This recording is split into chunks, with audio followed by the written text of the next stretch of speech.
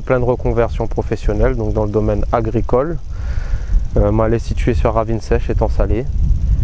Et voilà, moi, a décidé euh, à mon âge d'occuper à moi des parcelles agricoles que moi avait. Et donc, moi, elle a mis en place une culture euh, de l'ananas certifiée bio.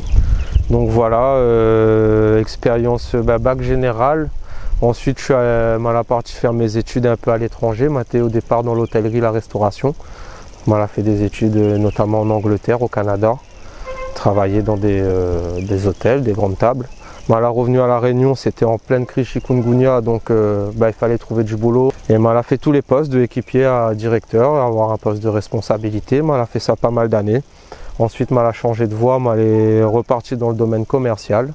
Toujours pareil, avec des responsabilités sur une boutique et dans le management. Donc t'es plaire moins bien. Et puis euh, au fil des années, euh, a toujours eu envie de travailler en extérieur et le goût du terroir, valoriser un peu ce que nos anciens l'ont laissé pour nous.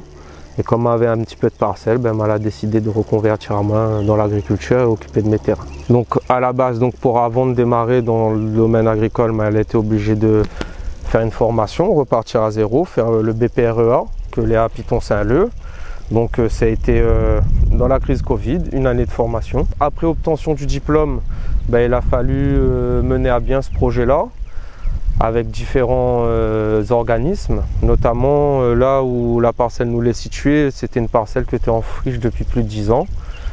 Et euh, elle a voulu certifier ça en bio. Donc elle est partie avec l'organisme qui certifie les agriculteurs en bio, Certipac. Donc démarche administrative, les constats par les différents opérateurs pour avoir le label bio.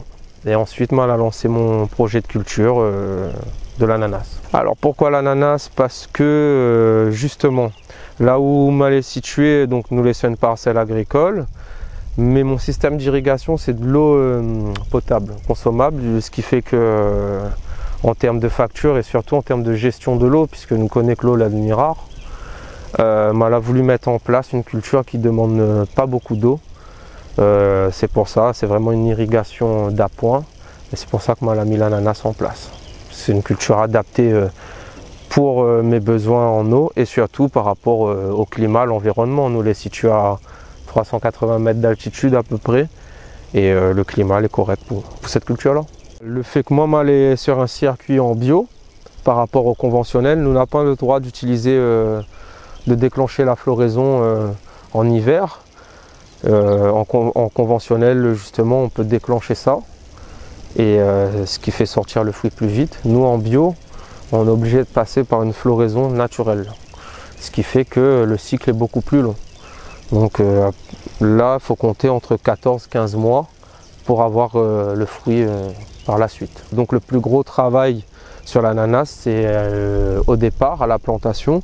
Ensuite, ben, il faut bien gérer l'irrigation et l'enherbement entre les rangs, passer la débroussailleuse. Mais comme là, il fait que deux mois, mi, vient de planter. En septembre, on plante des ananas, début septembre. Ben, entre les rangs, là, pas encore trop poussé. De temps en temps, quand il passe, m'y arrache. Et puis, ben, quand on aura plein de herbes, on va débroussailler entre les rangs. En termes de difficulté, après, ça va être surtout les cochenilles, donc des, ravageurs, hein, des, insectes que, les nuisibles, qu'il faut surveiller euh, attentivement, euh, et les différentes maladies liées euh, à la culture de l'ananas. Et ensuite, mettons, si nous on a toujours un, seuil euh, où nous peut tolérer. Si nous voit un, deux, trois cochenilles comme ça, il va déjà mon, champ, ma parcelle n'est pas trop attaquée, ça va, le seuil les, tolérer. Mais si il commence à voir que les envahis, ben, il faut que m'y réagisse assez rapidement et que comme c'est du bio, on n'a pas le droit de mettre des, des, produits, des pesticides, des produits chimiques. Ce qui fait que ben, ça va être euh, des produits naturels, style savon noir, etc à part cette partie ananas, on a une autre parcelle un peu plus bas, euh, toujours sur ravine sèche, où euh, là le projet c'est de mettre des serres en place, faire de la culture hors sol. Euh, donc moi là en ce moment mal en travaux dessus, sur des plateformes, et à côté de ces plateformes là il reste à moi une partie en plein champ que mal envoyé en fruit de la passion.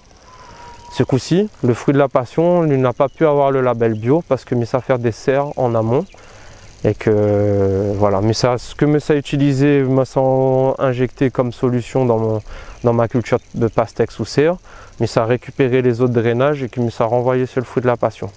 Donc c'est pour ça que moi n'a pas le label bio.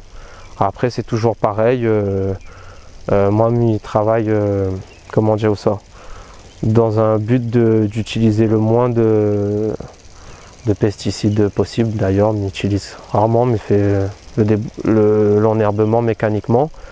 Et après, euh, je vais essayer de favoriser euh, tout ce qui dit euh, le PBI, c'est-à-dire la défense par des, par des insectes, des élevages d'insectes qu'on utilise dans les serres, des lâchers d'insectes pour manger ou détruire les, les, nuisibles. Moi, je suis plus dans cet état d'esprit-là. Après, si vraiment il n'y a pas le choix, bah, utiliser un traitement phytosanitaire utilisable en bio ou pas.